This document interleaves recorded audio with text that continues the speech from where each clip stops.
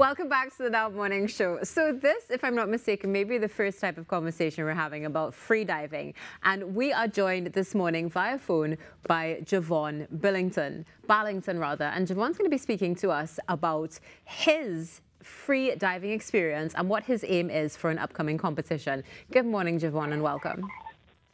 Good morning. Thank you for the welcome. It's a pleasure to have you with us on the show this morning. Jevaughn, before we get into anything, tell us what freediving is. All right, well, um, freediving is basically any form of breath hold underwater without the assistance of any breathing apparatus, such as scuba tanks and, um, yeah, such as scuba tanks. Okay, and how did you get involved in freediving, Jevaughn? Uh, initially, I was more or less, I peer pressured into spearfishing, well, trying spearfishing with some mm-hmm. friends of mine. And ever since then, I just fell in love with the sport as a whole. All right. Well, this is quite interesting, especially as you mentioned, from peer pressure to falling in love, because clearly you are. You have a plan on setting a brand new record at this competition. And this is the reason, of course, you're with us via phone this morning as you're in Dominica. Tell us a little bit about the AIDA Blue Element Depth competition that you are getting ready for. All right. So this competition is basically well, AIDA is basically the governing body for freediving in terms of safety and new um, protocols. They actually can officialize any record attempt, such as national records, etc.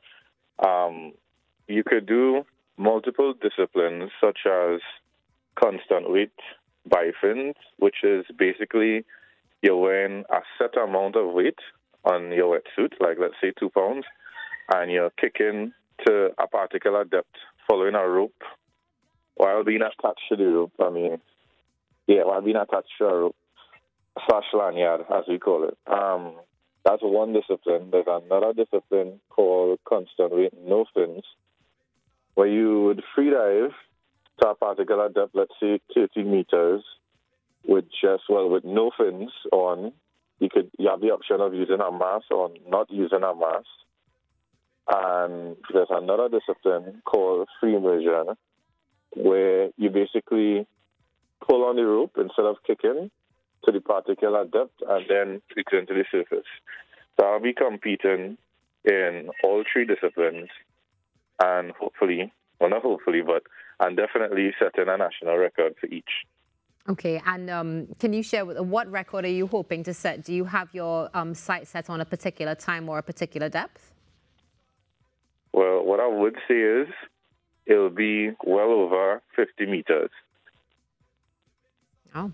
I'll leave it as a surprise, but it'll be over 50 meters for sure. Well, we look forward to seeing that surprise, of course, come to life. I'm, I'm, I'm interested to know, Jevaughn, how, how long can you hold your breath for? Ah, uh, that's a very good question. Um, last time I tried, I held my breath for five minutes and 30 seconds. But I was in a pool. Though. It's much harder to hold your breath that long while moving. Okay. Wow. We are all gobsmacked this morning on the Now Morning Show. You say you held your breath for five minutes. But as you said, it could be a bit more challenging, of course, when you are going underwater. Tell us something. What sort of training regime do you have to go through to be able to get to that point? Well, actually, um, I'll put it this way in summary. We're all capable, right, of doing these same feats. It's actually something we call the mammalian dive reflex that's found in animals and aquatic, yeah, aquatic mammals. It's basically your body as a survival mechanism. It starts to, when you're holding your breath in water, you get a blood shift, your heartbeat slows down, your vision narrows, your spleen contracts and starts producing more red blood cells. A whole list of um, a whole list of things actually happen to your body, but it's not something that's unique to just me. Everybody could do it, and um, some people with little as two, three days of doing a freediving course could achieve great depths, like 20 meters, 30 meters. So it's all about just understanding the process and staying relaxed, and I guess being certified by a legitimate instructor. Okay, I hear you loud and clear, and of course, it's always fascinating to hear the way the body works. But um, probably check back with you on that five minutes being able to hold your breath for, especially underwater.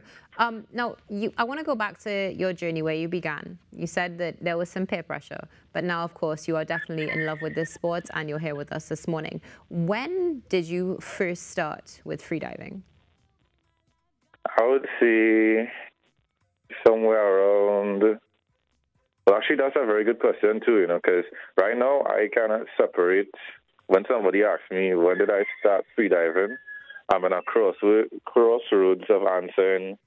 Do I start when I do I say when I began spearfishing or actual freediving? Because there is a difference. Okay, so when did you well, start spearfishing? Spearfishing would be somewhere between 2015 and 2016. Somewhere okay, so there. You're, so you're on the cusp of 10 years, let's say, in the water. Perhaps that's a more fair statement to make. Yes, correct. All right. Um, tell us something. Really... What is what is next for you, Jevaughn? After you sat, set this national record, what's next for you when it comes to freediving? Well, after I set this national record here, I'm hoping to come back home, continue teaching, because I'm also a freediving instructor, and I look forward to continue training and hopefully encourage other persons to take up freediving as a sport. And we could probably form a team or association or something because apparently it's just Trinidad that's behind in the whole freediving aspect. Mm. But my goal is to continue competing and continue setting more records and teaching along the way. Well, it's great to hear that. Now, aside from, of course, being a freediving instructor, you are also an emergency medical technician. Do you think that being trained as a technician has assisted you on your journey as a freediver? Mentally, yes. And actually, practically and mentally, yes. I'll tell you why. So, um, after doing that EMT course, I would have uh, I would have been aware, of course, um, all the extra dangers and all the things I took for granted. Like, for example, going diving without having an AED, like let's say teaching a class, or teaching a class without having oxygen readily available, or let's say spearfishing without thinking about uh, common stuff that I could bring along, like a tourniquet in case somebody gets shot by a mistake in their tie or something the, these kinds of, I guess the training really opened my eyes to the possibilities and the dangers, the extra dangers that we took for granted. So now um, I, I guess it made me a much safer instructor and spearfisherman. Okay. This is, I mean, you mentioned some things that have shown this is also can be something that is extreme. So Good to see that you have that safety on board, which of course is essential. I just want to go back to one of the things that you mentioned, Jevaughn, which is your intention when you come back in the future to create some sort of group and of course really bring freediving forward into the um, into the space, into society as well and raise that awareness. What benefits do you think that's going to bring to freediving in Trinidad and Tobago? Well, firstly, um, I think it'll benefit tourism because, especially in Tobago, we have beautiful blue, crystal clear water and we have access to a lot of depth. Not as much as Dominica, but people will definitely come to do snorkeling, spearfishing, freediving.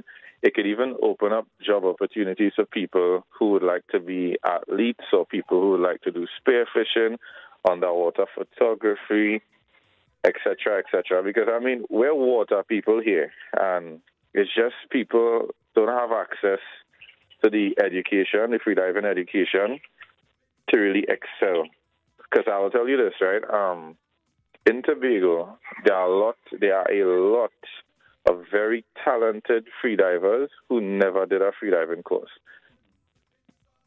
Yeah. And um, I think, hopefully, because the goal is hopefully this would spark some interest in some persons to really try and see if they could get a course done and basically push their limits to see how deep they could go. Definitely. Looking forward to having you back on the show soon. Um, of course, to celebrate the setting of the record, which should be coming soon, and of course, setting up the future for freediving in Trinidad and Tobago. Jevaughn, thank you and all the best. Looking forward to chatting again. All right, thanks. Get familiar with Jevaughn Ballington, who plans to set a new record at the AIDA Blue Element Depth Competition happening for April 18th to 25th in Dominica. We have some more on the show for you. Stay tuned. We'll be back after this break.